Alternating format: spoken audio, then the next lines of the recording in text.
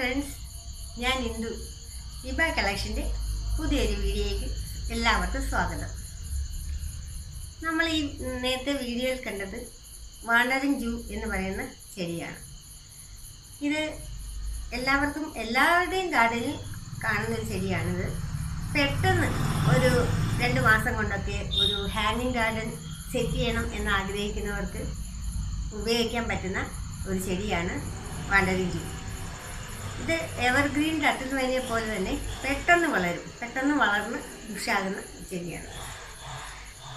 അപ്പോൾ ഈ എന്റെ കയ്യിൽ ഈ ഇരിക്കുന്നത് പുറത്ത് പച്ച കളറ് ഇലയുള്ള അടിവശത്ത് നല്ല പിങ്ക് ഷെയ്ഡിൽ വരുന്ന ഒരു ചെടിയാണ്.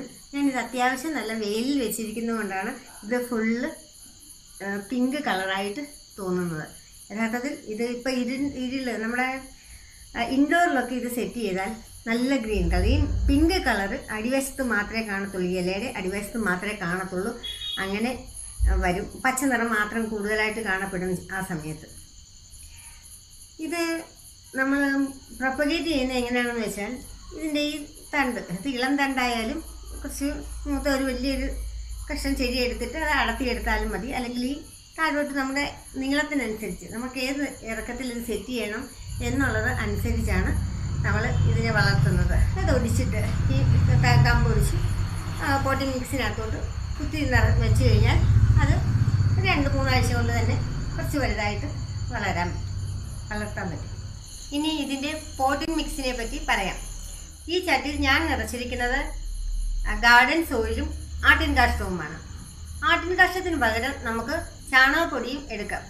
ഏതെടുത്താലും അത് സ്വല്പം കൂടിയ അളവിൽ എടുക്കുക. കാരണം ഈ ചെടി പെട്ടെന്ന് വളരാൻ അത് സഹായിക്കും. ഇത് പച്ച നിറത്തിൽ ഉള്ള ഈ ചെടിയാണെന്ന് പറഞ്ഞാൽ ഇത് നല്ല സൂര്യപ്രകാശത്തിൽ വെച്ചിരിക്കുന്നതുകൊണ്ടാണ് ഈ പിങ്ക് കളർ കൂടുതലായിട്ട് വന്നിരിക്കുന്നത്. ഇതല്ലാതെ സിൽവർ സിൽവർ കളർ കൂടുതലുള്ള വേറൊരു വെറൈറ്റിയും എന്റെ കയ്യിലുണ്ട്. അത് ഒരു രണ്ടാഴ്ച ആയതേ ഉള്ളൂ പോട്ട് ചെയ്തിട്ട്. അത് അത്ര വലിപ്പമൊന്നും ആയിട്ടില്ല. അത്ര വലിപ്പമൊന്നും ആയിട്ടില്ല. ഇത് എന്റെ ഒരു ഫ്രണ്ട് തന്നതാണ്.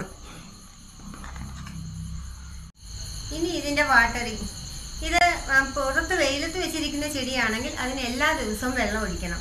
അതല്ല ഇൻഡോറായിട്ടാണ് ഇത് വളർത്തുന്നതെങ്കിൽ നമുക്ക് ഈ പോട്ടിൻ മിക്സ് ഉണങ്ങുന്ന സമയത്ത് വെള്ളം വെച്ച് നോക്കിയാൽ ആ മിക്സ് ഉണങ്ങിയിരിക്കുന്ന സമയത്ത് മാത്രം വെള്ളം ഒഴിച്ചാൽ മതി. ചിലപ്പോൾ മൂന്നോ നാലോ ദിവസം കൂടുമ്പോൾ വെള്ളം ഒഴിച്ചാൽ മതി. കാരണം ഇതിന്റെ തണ്ട് സ്വല്പം വെള്ളം കിട്ടി നിൽക്കുന്ന തരത്തിലുള്ള ഒരു തണ്ടാണ്. പെട്ടെന്ന് ഒടിഞ്ഞു പോകുന്ന തരത്തിലുള്ളതാണ്. അങ്ങനെ വാട്ടറിങ് നടത്തിയാൽ മതി. എല്ലാവരും ഈ ചെടി തങ്ങളുടെ ഗാർഡനിൽ വളർത്തണമെന്ന് ഞാൻ ആഗ്രഹിക്കുന്നുണ്ട്. കാരണം നല്ലതുപോലെ വളരുന്ന ഒരു ചെടിയാണ്. മാത്രമല്ല ഇത് ഗ്രൗണ്ടിൽ വളർത്താനും നല്ലതാണ്. ചെടിച്ചട്ടി ഇല്ലാതെ തറയിൽ വളർത്തിയാൽ നല്ലതുപോലെ പടർന്ന് വളരുന്ന ചെടിയാണ്. എന്റെ ഈ വീഡിയോ എല്ലാവർക്കും ഇഷ്ടപ്പെട്ടെന്ന് ഞാൻ കരുതുന്നു. എങ്കിൽ ലൈക്ക് ചെയ്യുക ഷെയർ ചെയ്യുക സബ്സ്ക്രൈബ് ചെയ്യാതെ കാണാത്തവരാണെങ്കിൽ സബ്സ്ക്രൈബ് ചെയ്യുക. അടുത്തൊരു വീഡിയോയിൽ കാണുന്നിടം വരെ ബൈ